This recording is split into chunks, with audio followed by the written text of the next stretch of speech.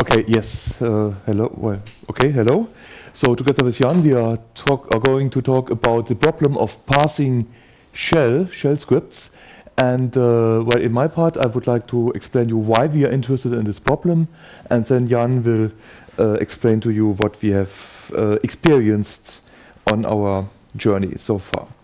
Okay, so what what, are, what we are doing is we are having a project, um, a research project over five years where we are trying to analyze Debian maintainer scripts. So Debian is part of the research project, um, and it's uh, important that we have this application. So what are maintainer scripts? Most of you know what it is. These are pre-inst, post-inst, pre-rm, post-rm scripts which may exist in binary packages. You may have none of them, you may have all four of them, or just a combination of them.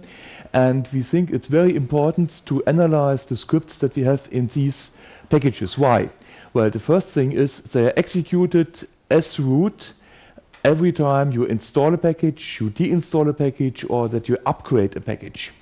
And obviously, uh, Alex talked, uh, talked already uh, this morning about what's, what's happening when you are running on Alioth, any arbitrary shellcode. Well, this stuff is executed as root on every machine where you have Debian installed. So obviously, we should be quite sure that these are not doing any stupid things.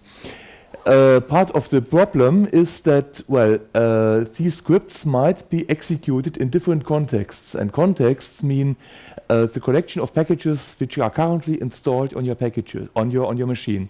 And what these scripts are doing might depend on stuff which currently is installed on your machine. This is part of the reason why these scripts exist at all, because they are parts of the stuff you cannot put into the package because they are not static. They depend on the particular situation of your machine. So, different situations, and in all situations, uh, scripts have to do the right thing and nothing nothing wrong. Another uh, source of the problem is the fact that uh, the packages are not living in isolation, in isolated silos. We have packages which share infrastructure with other packages. Think, for instance, of TeX. Think of um, uh, of Emacs, where once you install a package which contains, for instance, a TeX add-on or an uh, Emacs, Emacs uh, macros, these are compiled or installed on directories which have been installed by other packages. So uh, packages do not live in isolation. And we think that we need automated tools uh, to analyze these scripts. This obviously cannot be done by hand alone. And uh, just to give you an idea about the kind of problems that we are intending, hoping uh, that, that we hope to be able to find automatically at the end of the project. I cannot promise that this will be the case. But if you are on the QA mailing list, maybe you remember this bug report uh, two months ago. Uh, someone complained that he could not uninstall the sendmail base package because there was a bug in the post RM script. And uh, the thing I would like you to remark here is that this particular version of the package was in the archive for more than two months, and the bug is so the bug is at least as old as that and probably older and it's not really, well, Sendmail is not really a rare package. It has a popcon of, of almost uh, 3000, and one might wonder why this bug has not been found before and reported before. Because this, this seems to be quite an, uh, an, uh, an obvious problem. And uh, the reason is that, in fact, the bug occurred only in a very particular situation. The situation was the following one. In fact, this was the offending line in the post-RM script it was a find invocation with uh, flag uh, minus size 0 and all the files found by this find invocation would be removed by the xargs minus r rm. So minus r is the option to xargs and not to rm. Uh, and in fact, obviously, the maintainer here was assuming that a directory can never be of size 0. Because in that case, of course, the rm would fail. It would not remove a directory. And in fact, when you try it on your on your machine, you probably most of you have an uh, ext file system. In fact, you will find that a directory always has a size of at least one block. So one can understand why one would make this assumption. However, it's not always true. And the unfortunate user who was uh, experiencing this bug, he was he had his etc on a btrfs file system, which is a kind of overlay file system with copy on write. And it turns out that on this particular file system, it is possible when you create a new directory that it has size zero. And this explains why two months after the package was installed in the archive, he uh, uh, he dropped uh, on this on this particular bug, which of course once so someone found out what happened, what happened uh, was quite easy to find. So the point I would like to make here is that testing is not enough. So this you probably would not find. I think uh, piuparts has, has tried uh, had, had tried to install the package and to deinstall the package. Obviously, the, the bug was not found because it occurs only in a very very particular situation. Okay, so we are trying to analyze the, uh, the maintainer scripts. So this is a kind of an old analysis I did uh, at the end of 2016. At that time, we had almost 32,000 maintainer scripts in the archive. At that time, we had already more than 50,000 binary packages. And the vast, vast majority of these are POSIX shell scripts. Well, there are about 300 bash scripts, which really have written bin bash. They probably should be POSIX shell anyway and a few Perl scripts, and even one ELF executable, but almost all of them are POSIX shell scripts. So at the beginning of, of our project, obviously, uh, the first uh, uh, building block of our toolchain would be to construct a front end which would read the POSIX shell scripts, translate them into a syntax tree, and then we would use this as the first front uh, as the first building block in order to uh, have after this all the formal analysis stuff which would be able to find the bugs. So our first step was to build this uh, parser and at the beginning of the project honestly we thought that this would not be too difficult. So we expected to have the front end after maybe one year of the project with a nice specification of Unix commands and everything. And it turns, turned out that it took us much longer than that. And the reason for that is in fact Yann, who will now explain to you why this was so difficult. Okay, so I'll try to pass this on.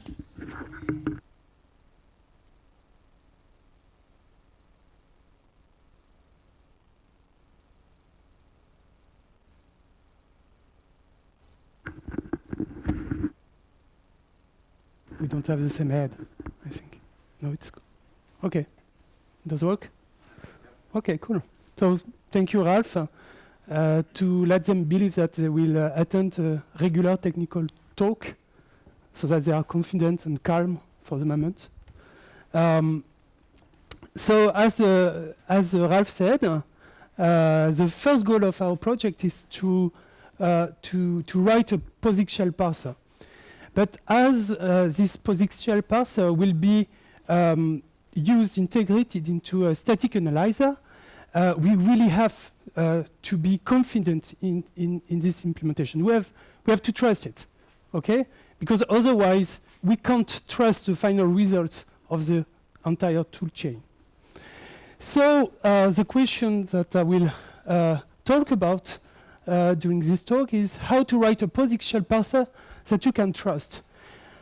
But uh, actually, the real message of this talk is that if you try to, uh, if you start answering this question, you will start a journey in a world which is not uh, different from hell. Okay, so I will try to explain why during this talk. Um, but let's start with the beginning. So when you know that you will have a, a difficult journey, uh, you, you first try to be prepared. So you open a book, and you try to listen to listen to the uh, the wisdom of your ancestors, because you know uh, for 50 years uh, uh, a lot of computer scientists study this problem of parsing, and they said to us a very important message: uh, parsing is a very difficult uh, programming task sometimes, and as it is a difficult programming task, it has to be decomposed into simpler tasks. And they gave us a very beautiful architecture. Okay, the one that says if you want to, to build a syntactic anal analyzer, you first start with a lexical analyzer, Alexa, which will turn your stream of characters into a stream of tokens, a stream of uh, what is really relevant in your input. And then you will write a parser that will take this uh, sequence of tokens and recognize some structure inside it using a grammar and build for you if uh, the input is syntactically correct, an abstract syntax tree. Okay? So that's uh, the beautiful architecture that I've been here for uh, uh 50 years now, and it has been so, so well studied that actually people came with very nice declarative language that you, you know, Lex specification and BNF specification. That helps you define lexical analy analysis and uh, parse parsers uh, with very declarative languages. And furthermore, what they gave us is a way to turn these very high-level specifications into code. Just like when you use a compiler and you trust it to be able to turn your high-level language into some, some assembly code, it is possible to only have to reason about these specifications and just let the code generators work, uh, do their work to give you uh, uh, code that you can trust. Okay, so it's, a very beautiful framework, and everyone wants to, uh, uh, when you have to define a compiler, you really want to use that one. So of course, you start with the classical architecture, and you go uh, in another book, uh, the POSIX shell specification, which is defined by the open group. And, well, by just looking in a very high level way, you first discover a Yacc grammar inside. So it's a real moment of happiness. You say, oh, the job is almost done. There is a Yacc grammar inside. So we'll uh, just have to cut and paste it into my code generators, and then I will go uh, to holidays. But actually, it's not exactly a Yacc specification.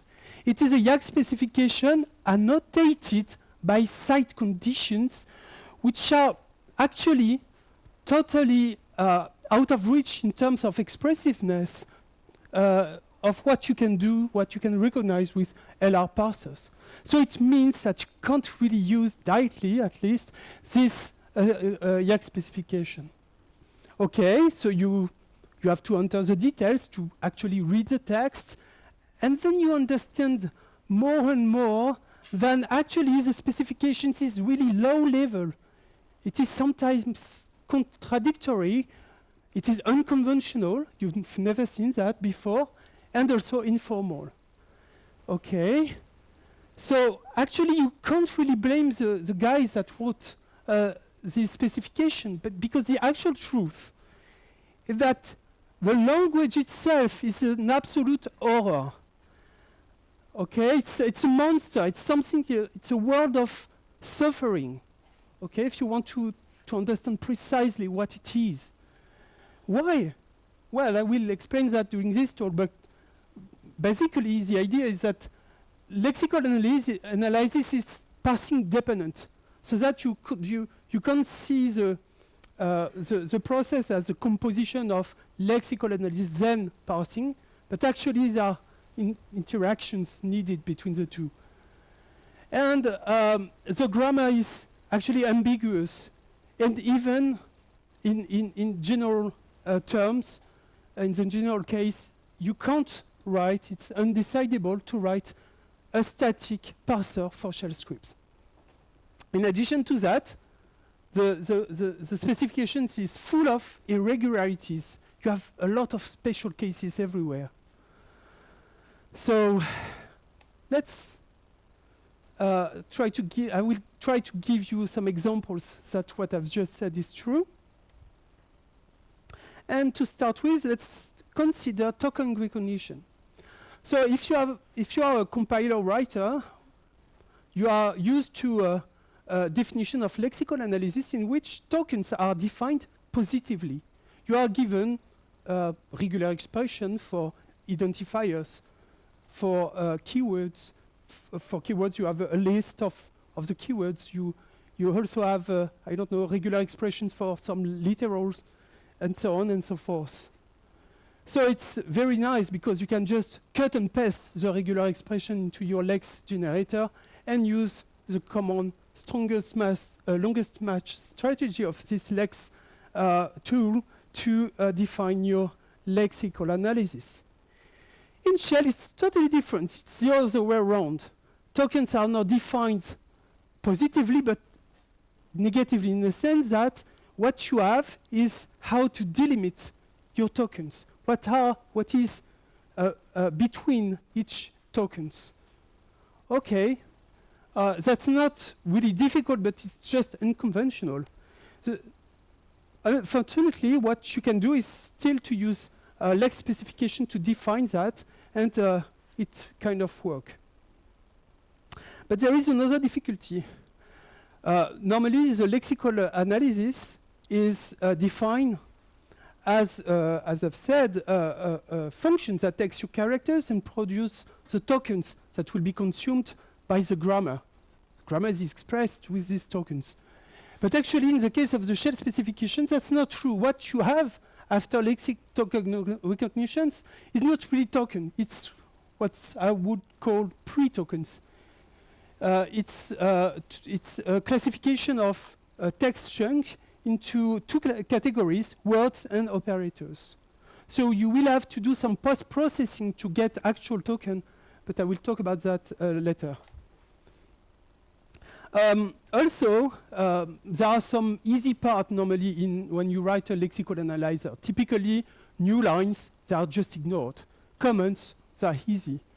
Escapes, or they are just, you know, a backslash and something else. In the case of shell scripts, everything is complicated, even the semantics of new lines. I will come back on this using an example in a few minutes. But let's consider this example about token recognition.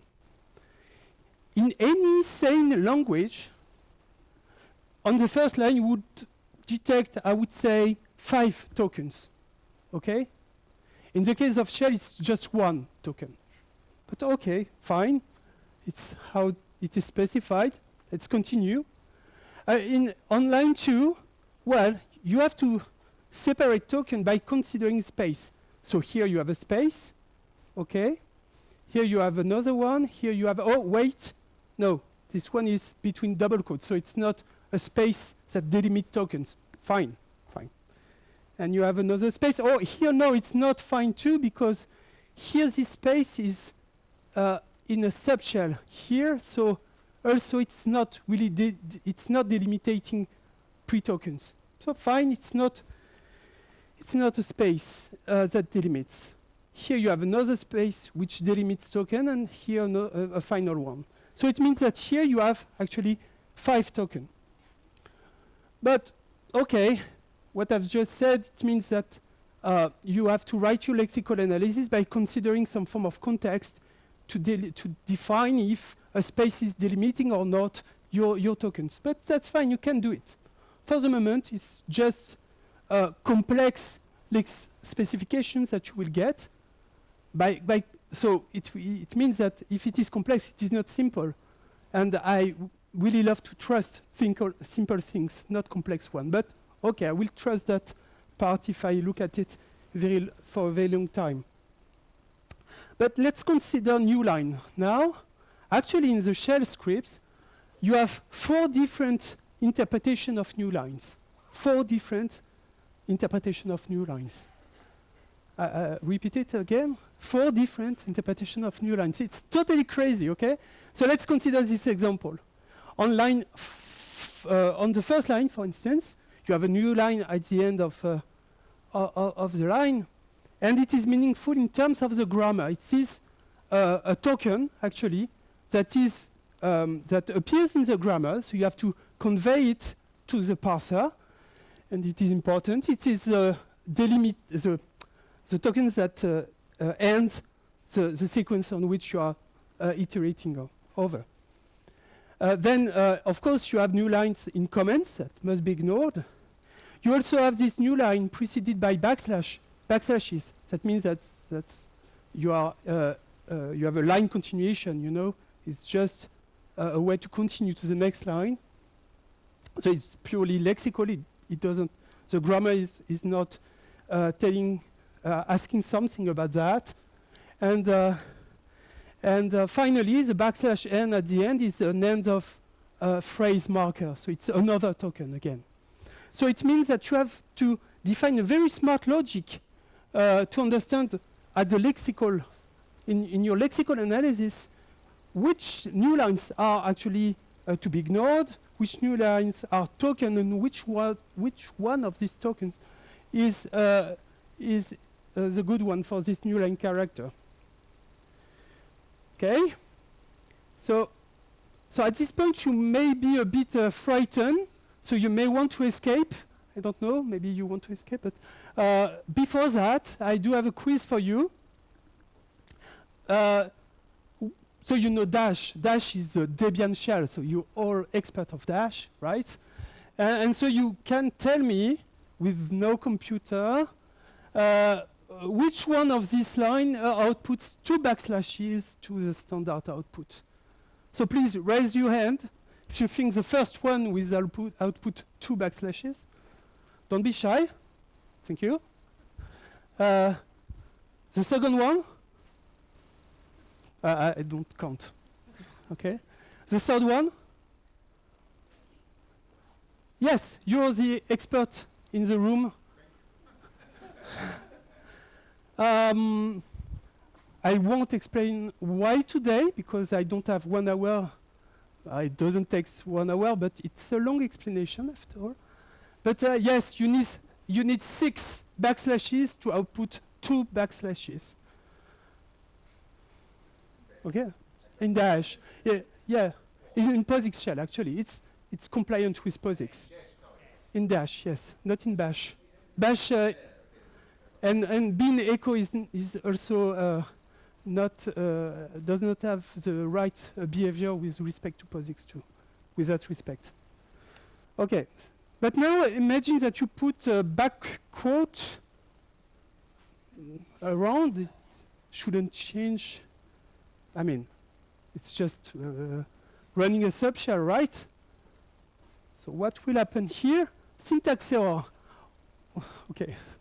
Uh, this one, it really takes one hour, and we are not really sure how to explain it exactly. So that's what I meant when I said earlier that escaping depends on the nesting of subshell and double quotes. Okay. Nobody wants to leave the room? I mean, uh, okay. Okay, so I can continue. So I've said earlier that uh, actually, after the lexical analysis, what you get are pre-tokens. And uh, what the grammar needs is tokens.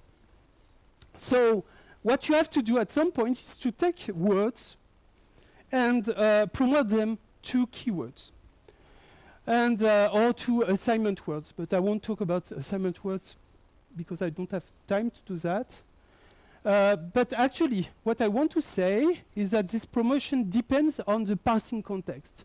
So it's, it's um, maybe clear, um, it will be clearer with this example. It is not, I'm not the author of this example. Ralf Treinen with his twisted mind devised this uh, example, which is a bit uh, weird maybe, but uh, it uh, correctly uh, illustrates that uh, a keyword, uh, I mean, something that looks like a keyword can be interpreted as something that is not a keyword depending on its place in the output. Okay? So for instance, for here, this one, the first one is, of course, a reserved word. You're starting a, a loop, okay? But this one is just a word that is a part of your uh, sequence on which you are uh, iterating over. Okay? So it means, and, and that's the same for in and for do and so on. That's a syntactically correct program, by the way. You know. Yeah, of course. Right. So when you are in your lexical analyzer, you have to call the parsing context to introspect it, to observe it, to define if you can promote a word into a reserved word. But not all the time. Sometimes some words, some words that are actually, that could be interpreted as reserved words, like else, cannot appear at some very specific position. Okay, so you have a lot of irregularities in the spec specification, a lot of special corner everywhere in this very dark world of POSIX shell language. So never, never name one of your tool bin else. It will never, a user will never be able to call it. I mean, uh, without the full path. Okay. So it means that in your parser, you will have some ad hoc side conditions everywhere to cope with all the irregularities of the language. But at this point, I see some eyes that are a bit frightened, but not that much. You've seen a lot already in your programmer life. But I have something that is like the, I don't know, the final boss, the, the one that will kill you if you don't protect yourself. So I want to warn you before I show that. So are you prepared for this last, last example? So the icing of the cake, actually static parsing is undecidable. You can't write a static parser for shell script. Why? This is because of the presence of alias. So alias is like uh, macro, um, if you want some form of define of macro definition, what you are defining with alias is uh, a word that is substituted by uh, some uh, string just before syntactic an analysis is applied. Okay, so it means in that example that depending on the exit status of foo, this, this uh, script is syntactical syntactically correct or not. That's not your choice. It's foo's choice. Okay, so you can't decide. So, okay, you will say, ah, it's normal because usually shell scripts are syntactically analyzed and evaluated just phrase by phrase, and so I'm able to evaluate this program using bash or something like that. But in our case, we really have to be static. We can't evaluate scripts, so we can't say if this script is syntactically correct or not. Okay, you are pretty calm. Maybe it's because we are just after the lunch. Uh, but you may wonder at this point if, uh, uh, so yes, parsing depends on evaluation. So at this point, you may wonder if it's even possible to write a shell parser, okay? Um, but actually, uh, of course, that's possible because there are very smart people in the world that uh, uh, were able to, um, to tackle this problem. I mean, if you look at the parser of Dash, it's um, it's 1,600 lines of handcrafted C, character level C. I mean, this guy, they, they, they, took the textbook and they use it not to open it and to, to, to use it, but as a shield, okay?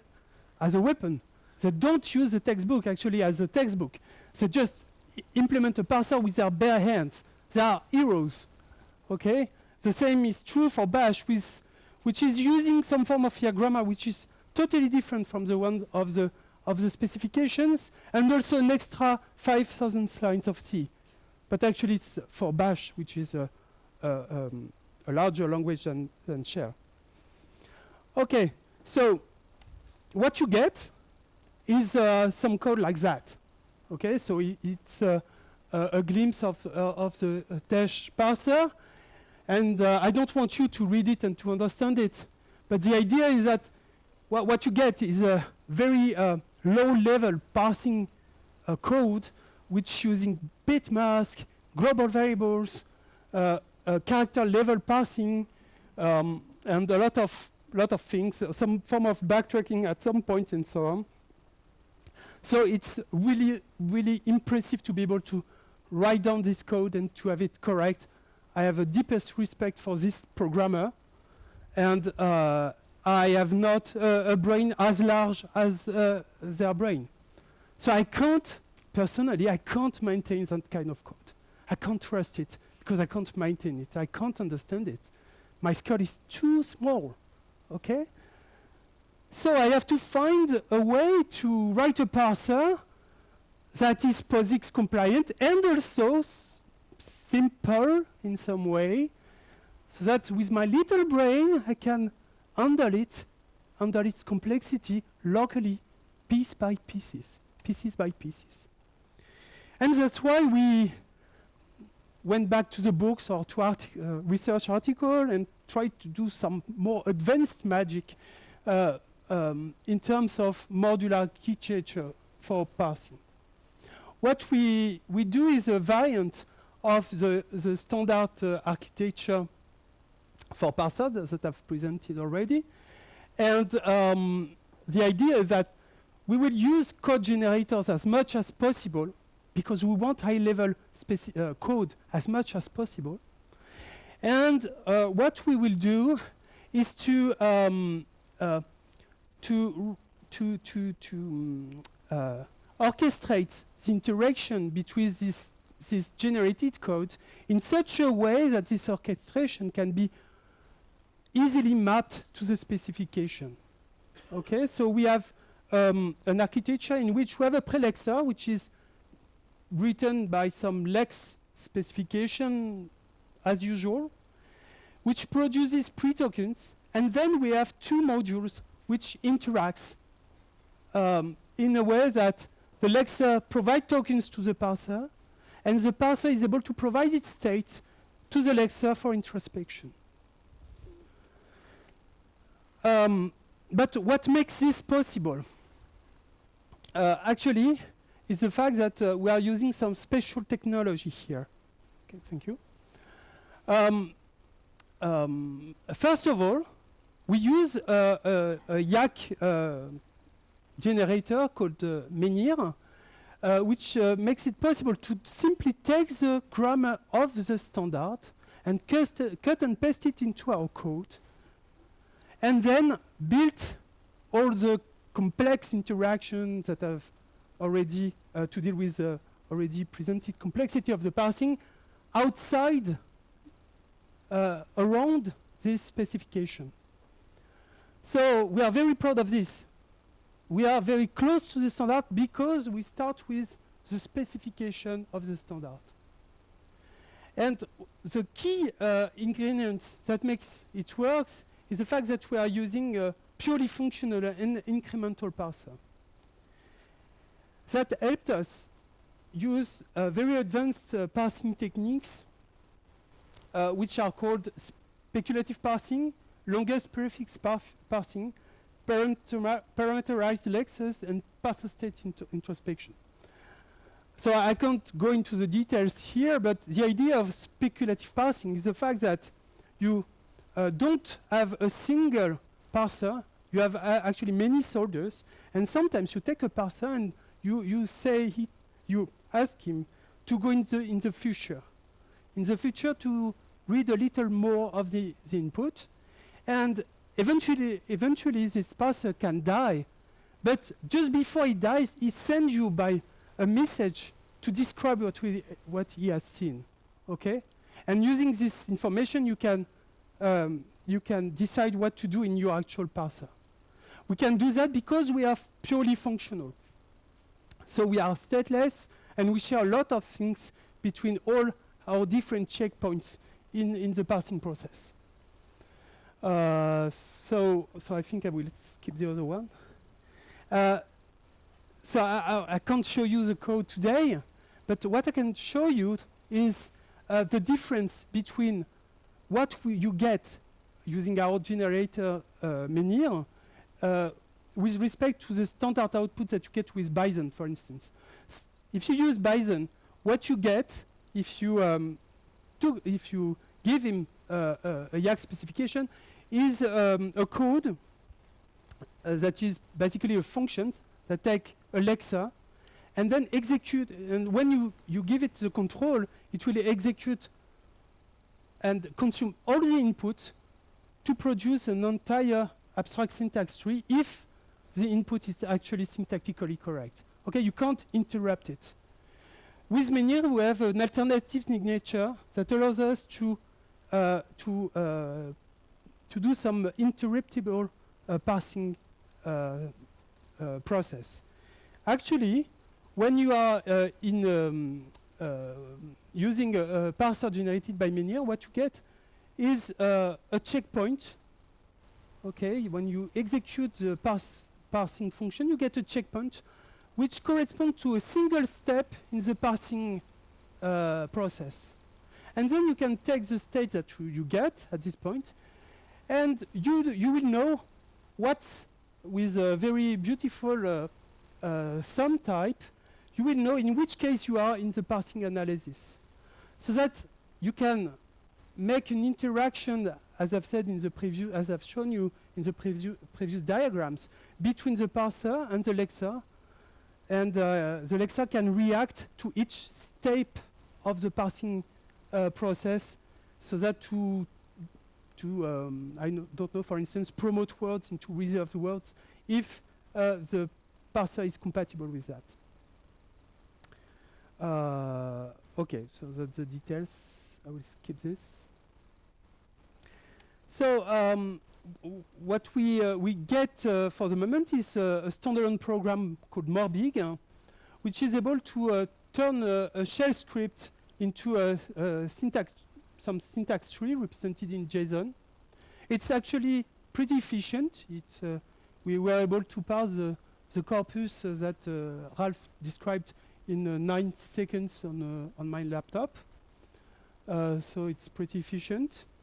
And so you could say, oh, so you're done. No, we are not done at all.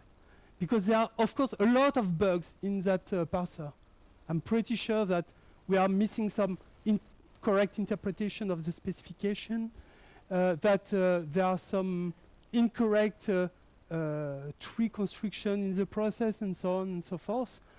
So we are really inside this journey in air. And what we try to achieve, it's a state in which we will have uh, the specification and the code. And the code will be high level enough uh, that the um, the mapping between the specification of the code could be explained and shown and documented so that an expert of the specification could say, oh, yeah, you did exactly what I was uh, thinking when I wrote this piece of informal human uh, uh, natural language uh, text. So that's okay. Or sometimes, and that's more, um, more likely, uh, it will say, oh, no, you, you, you interpret it uh, wrong. Okay, so that we so our goal is to be able to really extract some knowledge to the experts by confront, by being able to explain our code to the expert. And to do that, we have to be high level. So, uh, so that's uh, the end. Uh, I hope that you will not do, uh, not have too many nightmares tonight. I thank you for your intention. And uh, at some point in June, we will have the first release of, uh, of our tour. So if you are brave enough, try it. Uh, give, us, give us some feedbacks. And uh, thank you. Bye-bye. if you have any question. Thank you for the talk. Are there any questions? So thank you for interesting introduction to this. Uh, how does this actually is going to uh, determine or detect this uh, send mail post removal okay so that, that's issue. the first uh, oh you want to oh, okay. do it okay that, that's of course a very good question so we seem to be and in fact we are in fact still quite far from this final goal of being able to find such a bug so the parser is of course only the first element of our toolchain and of course what what has to be done in the rest of the project is to building on the, um, once we have constructed uh, abstract or concrete syntax tree of a, of a script, to implement the tool which will do a symbolic execution of the script and construct precisely what the script is, uh, is doing. So all the analysis which is going to happen still has to be done. The parser is doing nothing of this kind. It's just it's just doing a syntactic analysis.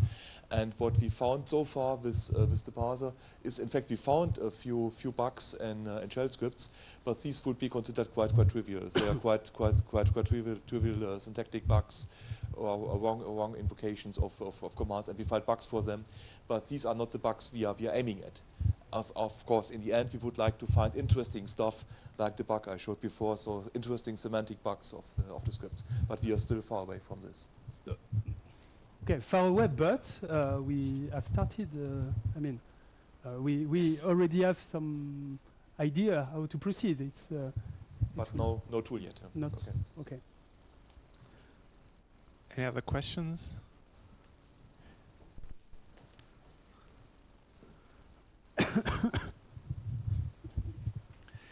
I don't Can have stand up? actually a question. I just have a compliment. This is the mo. uh, this was the most sickest shellcode I have ever I have seen in years. Vous êtes malade, monsieur. Chapeau. Me? Malade.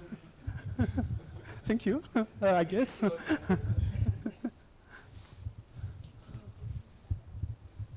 Um, gi- given how difficult it is to parse shell, should we be using a different language for our post-inst and post-RM scripts?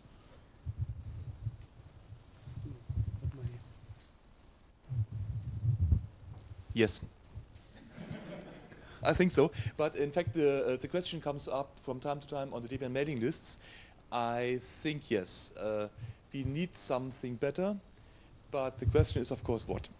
And uh, obviously, uh, the, uh, the question is how can you balance simplicity of the language with the need for express, expressivity in some, in some corner cases. So sometimes you really have to do complicated stuff, and then you need quite powerful language.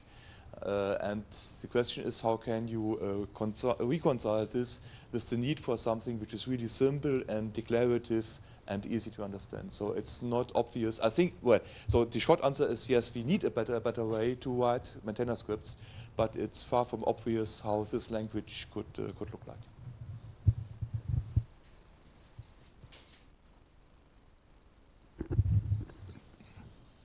Could you define a subset of the POSIX uh, of the POSIX uh, specification that would uh, allow you to um, to check the the scripts? A, subset of the specification that uh, is compatible with all the already written uh, maintainer scripts.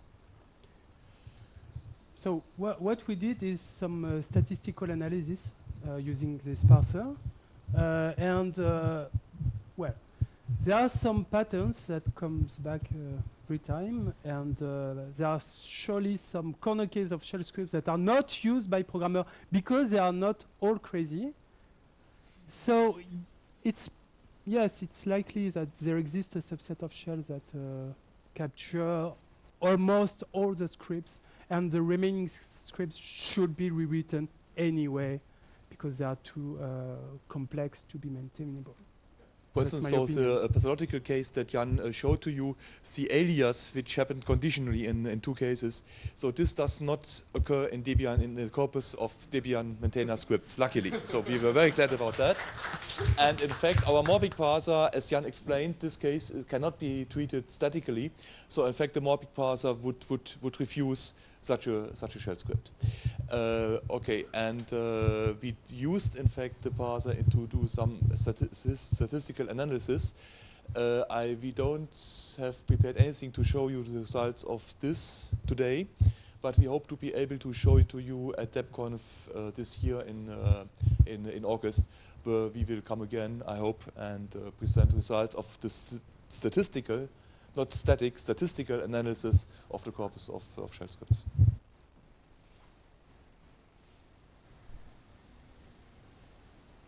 Any further questions? Not then. Thank you again. Thank you. Next.